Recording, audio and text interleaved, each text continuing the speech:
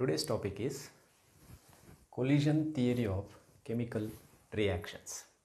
And this theory was proposed by Max Trautz and William Lewis. This theory is based on the kinetic theory of gases. In this theory, the reacting particles are considered to be hard spheres. They are considered to be hard spheres like this. According to this theory, a chemical reaction will take place only when the reactant molecules collide with each other. But as you all know, all the collisions does not lead to product formation. Only those collision between the reactant molecule which are effective will lead to the product formation. For the collision to be effective, the necessary condition is the reactant molecule must possess a minimum energy called as threshold energy and those molecules which possess this threshold energy are called activated molecules and when these activated molecules collide with each other then the collision will become effective and that will lead to the product formation. Next, the rate of a chemical reaction depends on the number of reactant molecules that are colliding per second per unit volume of a reaction mixture. If more and more and more reactant molecules collide per second per unit volume, then the rate of a reaction will increase. But when millions of millions of reactant molecules collide per second, it may not lead to the product formation because as you all know the collision will become effective only if the reactant molecule possesses the necessary energy that is required for effective collisions. So the rate of a reaction it depends on two factors. One is the number of reactant molecules that is colliding per second per unit volume of a reaction mixture and also it depends on the number of molecules that possess the necessary energy that is required for effective collisions. So based on this for a very simple elementary reaction like this where A plus B gives product the rate of a reaction can be written as rate is equal to ZAB into e to the power minus EA by RT where ZAB is called as the collision frequency. So collision frequency is the number of collisions per second per unit volume of a reaction mixture. Once again I will repeat collision frequency is the number of collisions per second per unit volume of a reaction mixture and this term you know this is called as the Boltzmann factor and also it represents the fraction of molecules having energy greater than or equal to activation energy. So only those molecules which are having an energy equal to or more than activation energy when they collide the reaction will take place. So these are the two factors which, de which decides the rate of a reaction. This equation holds good only when the reaction involves atoms or simple molecules. However, a significant deviation is observed when the reaction involves complex molecules. When the reaction involves complex molecules, the reacting molecules in addition being activated during the time of collision they must have a proper orientation. I have mentioned about the energy factor and orientation factor in my last class, right? So now let us try to understand this. What is this orientation factor?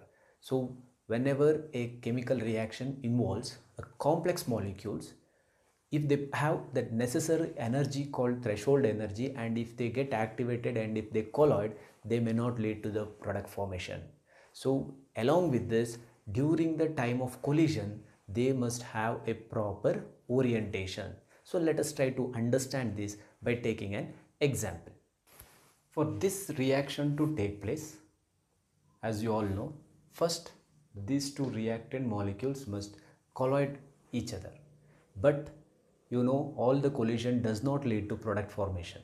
So only effective collisions that is only those molecule which possess an energy equal to or more than activation energy when they collide they lead to the product formation. So we know this. Now let us assume that these are the two reactant molecules and let us assume that they have energy equal to or more than activation energy and they will collide. Now let us see whether on collision they will give the product. So the collision between these two reactant molecules can take place in many ways. They may approach like this and they may colloid and they may they might bounce back.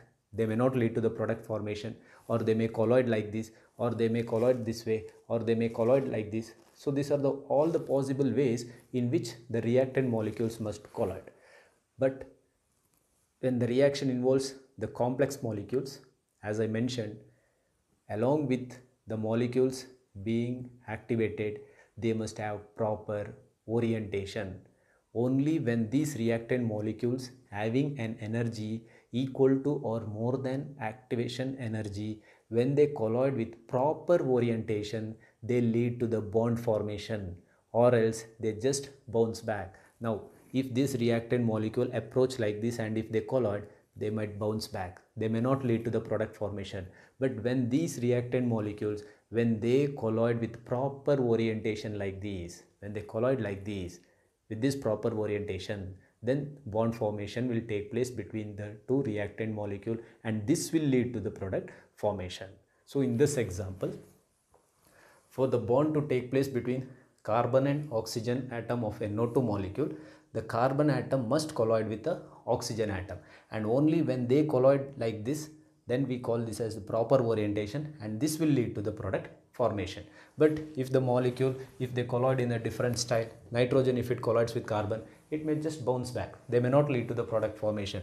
Or the oxygen atom of carbon monoxide when it collide with oxygen atom of NO2 they may not lead to the product formation. So only when they collide with proper orientation they will lead to the product formation. Improper orientation in case of improper orientation the reactant molecules they just they will just bounce back. They may not lead to the product formation. So according to collision theory first condition is that the reactant molecules must have a minimum energy called the threshold energy. And second thing is that they must have proper orientation.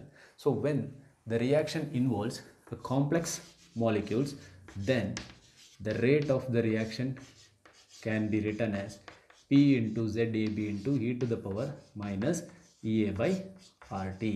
That is a new factor called the orientation factor or probability factor or steric factor P must be introduced in the equation because if you consider only those reactant molecules which are colloiding per second per unit volume that may not determine the rate of a reaction right? So along with the molecules having energy equal to or more than activation energy and along with the molecules colliding per second per unit volume the proper orientation the molecules that are colliding with proper orientation will determine the rate of the reaction.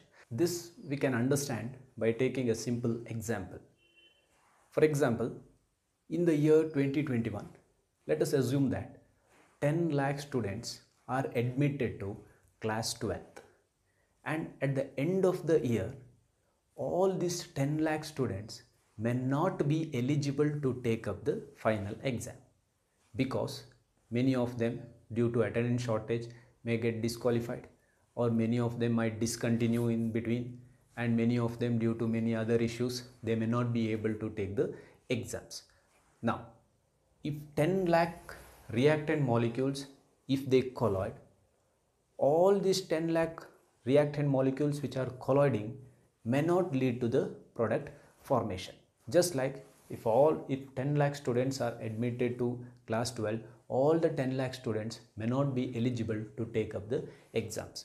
Out of 10 lakh students due to many reasons let us assume that 50% of these are not eligible to take exams only 50% the remaining 50% are eligible. That is 5 lakh students are eligible to take exams. So in this case ZAB represents 10 lakh. Out of 10 lakh how many are eligible? Only 50% that is 5 lakh are eligible to take exams.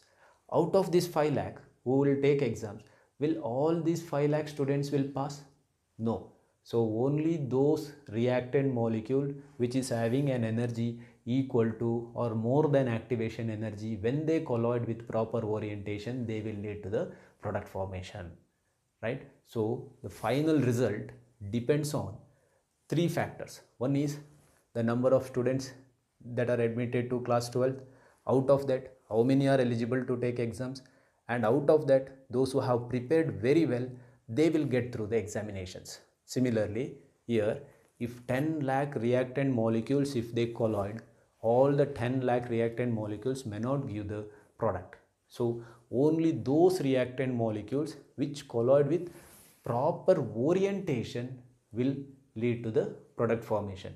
But even then all these reactant molecules which are colloiding with proper orientation they may not give the product. Only those reactant molecule which is having an energy equal to or more than activation energy when they colloid with proper orientation they will lead to the product formation. So according to collision theory a chemical reaction will take place only when the reactant molecules having an energy equal to or more than activation energy when they colloid with proper orientation. Okay? This is the end of this chapter. In the next class we will be solving some of the questions related to CET and NEET exams